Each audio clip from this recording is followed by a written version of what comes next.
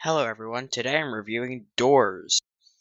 I think doors are pretty cool. I mean, I use them so that, like, you know, animals don't get in my house and so that my cat doesn't get out of my house. And, you know, I'd, I'd give them solid uh, 7 out of 10. Thanks for watching.